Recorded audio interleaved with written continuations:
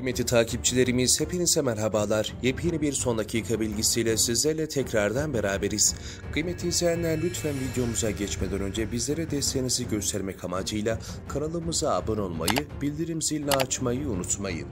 Rusya devletinin ordusu tamamen yok edildi ifadesi kullanıldı. Kıymetli izleyenler ortalığı karıştıran iddia bugün itibariyle ortaya atıldı.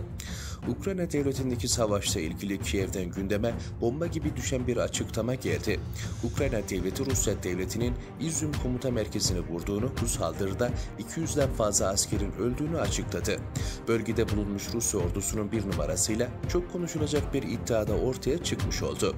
Rusya Devlet Başkanı Vladimir Putin'in emriyle beraber 24 Şubat tarihinde başlayan savaş hız kesmeden devam ediyor. Bugün itibariyle çıkan bazı haberlere göre Rusya devleti ordusuna büyük bir saldırı düzenlenmiş, Rusya ordusuna ait 200'den fazla asker öldürülmüştür. Bu haberi yapan Kiev yönetimi bütün dünyayı karıştıran bir iddiayı da ortaya attı.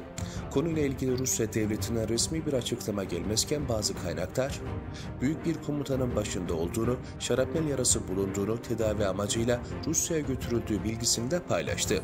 Zelenski'nin danışmanına göre söz konusu olan 55 yaşındaki öldürülmesinden bir gün sonra gerçekleşmişti. Simonov'un savaşın başından beri öldürülmüş 9. Rusyalı komutan olarak kayıtlara geçti.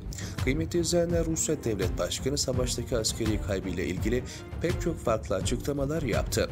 Moskova ise konuyla alakalı ilk ve son resmi açıklamasını 2 Mart tarihinde yapmıştı. Kıymetli izleyenler ilerleyen saatlerde buluşmak ümidiyle.